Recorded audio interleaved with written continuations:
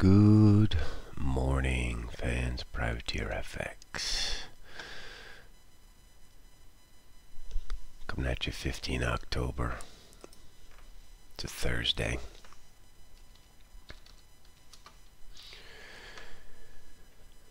Let's see what's going on today. Euro didn't do much overnight. 40.55. Doji yesterday indecision, so we traded up to about 70 down to about 25. Closed right here in the middle, um, around 53. Could go either way today. I think uh, no real, no real strong view. We've got um, Philly Fed.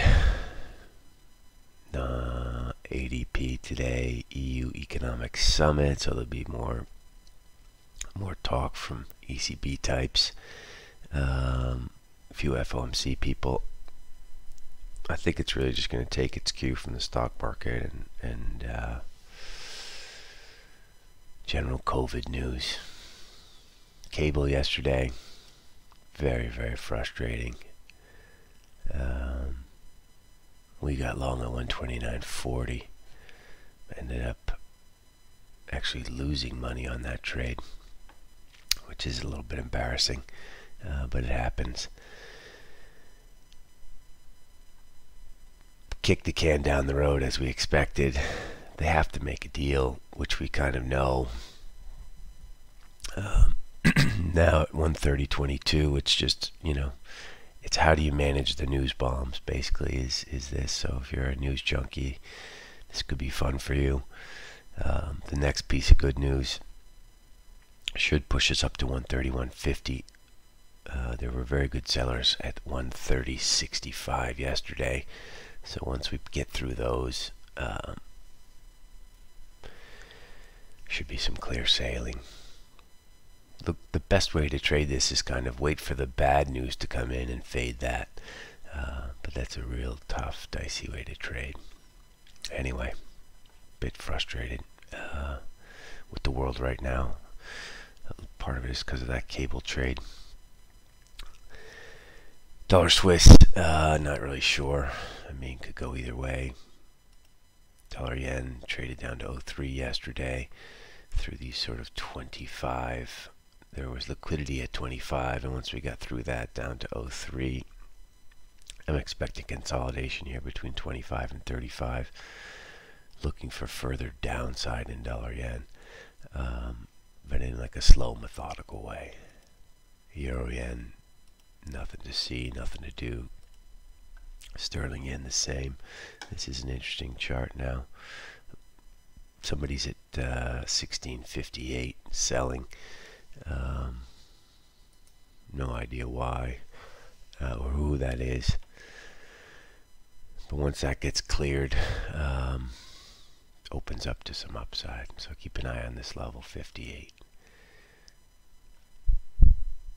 MEX chart's not as not as sexy, uh, but consolidating, and it looks like we're having a slow turn here, and this makes sense because equities sort of flushed down. Um, yesterday. One cares about dollar Swiss. Aussie is just doing what it's doing, right? Ever since we got the news about China and, um, you know, no more Aussie coal. Uh, add in a little bit of global risk off, and here we are, 71.34. Got up to 90 yesterday, a couple of times. But now we're just continuing our little downward dance this probably gets to uh, 70 cents. Um, we like Aussie lower. Euro Aussie when it's risk off we like. Uh, this is an interesting level we've been talking about for a long time, 165.90. 100 points away, which is not a lot in Euro Aussie, in Euro Aussie language, in the language of Euro Aussie. Um, up half percent already, so today will be awkward up there, but Keep an eye on this 165.90 level. Aussie yen, lower. Swiss yen, no one cares. Euro sterling, lower now, right? This is sort of a safer way to trade Brexit, less fall, but still pain in the ass, right? I mean, just fully news driven. How do you manage news? Don't ask us, we didn't manage it super well yesterday. This is what everyone's going to have drawn here now. Shoulder, shoulder, head. 65.28 today. Does Kiwi play catch up with Oz? Maybe. Does Dollar CAD play catch up with Oz? Doesn't look like it. She just does not go up very well right now. Dollar CAD went up to 62. You see these these forceful bars where they push through the highs, but then they come right back down. Kind of reminds me of the dollar Mex chart. Um, it looks like she's slowly turning, but this could just be consolidation for another leg down. Excuse me. So no real, no real strong idea in uh, dollar CAD, euro CAD. Nobody cares. Dollar turkey. Surely those are are, are uh, bids from the central ba- uh, offers from the central bank at 7.95. Um, just a matter of time before those go. Dollar turkey still looks like she's going higher. Consolidative day in gold yesterday, figure 17. Our friend ZB are just hanging out at the highs here with this risk off. We're in no rush to add to shorts, but we still are core short. Crude zinged higher uh, on, I guess, some positive uh, car data out of China. And what else? I don't know. Just big consolidation here in crude between 43 and 38 or 36 bucks. So we're right smack dab in the middle of that. But we are taking a peek towards the top end of this recent range. 4180. Interesting up there. This chart is just astounding. This is BTPs. What in the God's name of Jehovah is that? This is the new contract. This is the Dees contract. 600 points up, yields lower in a straight line. That is not going to end well for whoever owns that shit.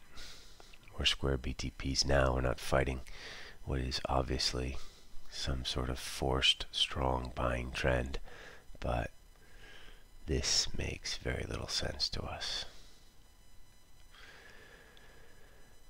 That's all we got today, really. I mean, this uh, this dollar ZAR uh, level is, is of interest to us, and oh yeah, dollar China. Dollar China cleaned out a lot of stale longs yesterday. Where is Dollar China? We like this higher again now. So we cleared out a lot of these two days here. So we were what? We were 600, 700 points higher. Back down sort of 500 points. I bet if you did the fibs, that's around 61.8. Um, but anyway, whether it is or it isn't, we do like dollar China higher. Um, especially now that we've cleared out some of the original longs that got long on Monday. So keep an eye on this. Where do you get long? Where do you kill it? You probably kill it through 670. Uh, you can get long sort of on dips today down to uh, down to that level, maybe 670, 50. Um, we like dollar China higher today. Anyway, said enough. Good luck out there, people. Uh, talk to you tomorrow. Ciao.